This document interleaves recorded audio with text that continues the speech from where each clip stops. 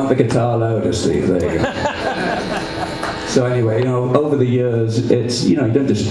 It's a great thing to be able to to make a living playing an instrument, of course, you know, and. Uh, you, when you're doing it, especially when I was younger, I didn't appreciate it so much because you know you sort of sort of take it for granted. But um, it has been taken away now. Uh, I was very young, and if you're young and have that kind of success, you just think you're a genius or something, you know, and, and then later on you realise the truth. Uh, because it gets taken away from you. And it was taken away from me. And I woke up one morning and, you know, like you see these horror stories with the ventriloquists, with the dummy, you know, the dummy's talking. Well, the guitars talk to me, actually, you know, I shouldn't tell you this, but uh, sometimes they don't talk to you. And it's like, oh know.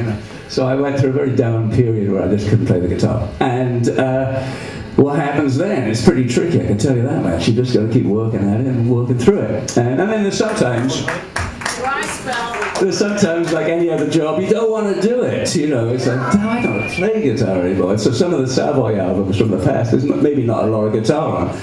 Maybe I was going through one of those periods, you know. But I do play a lot of other instruments, and that's kind of helped me through the down times because, um, you know, you play another instrument, get another perspective.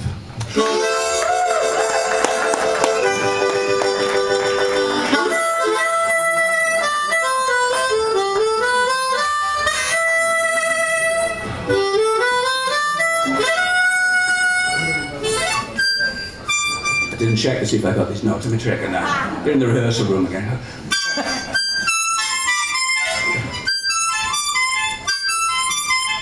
Okay, there,